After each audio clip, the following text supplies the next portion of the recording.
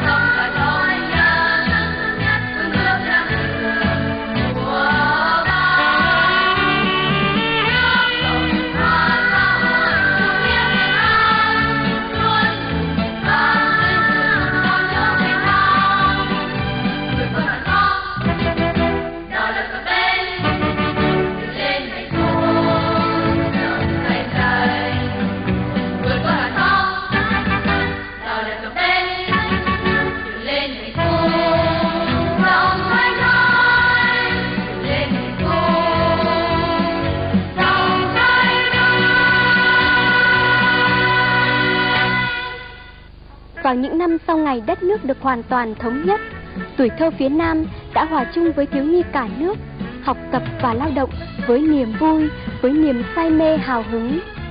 Nhạc sĩ Trịnh Công Sơn đã nhìn thấy ở các bạn nhỏ ấy hình ảnh của những chú chim non thơ ngây. Nhưng những chú chim xinh ấy chính là những niềm hy vọng của đất nước ngày mai.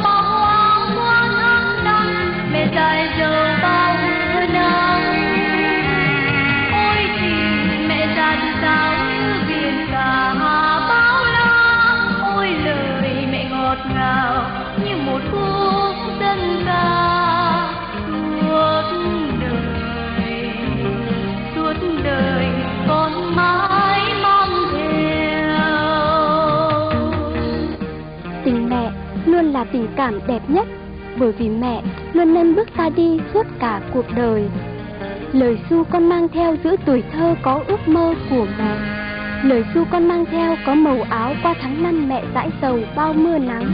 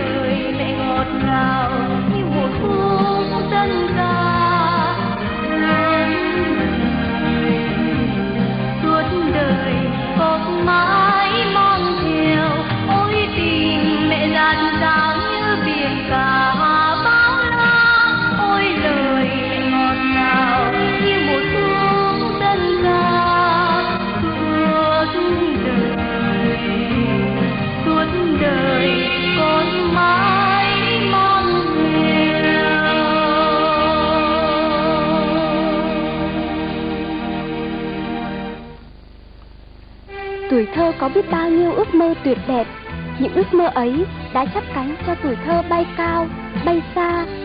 Điều ấy đã được thể hiện trong bài hát Khát khao tuổi thơ của nhạc sĩ Duy Quang.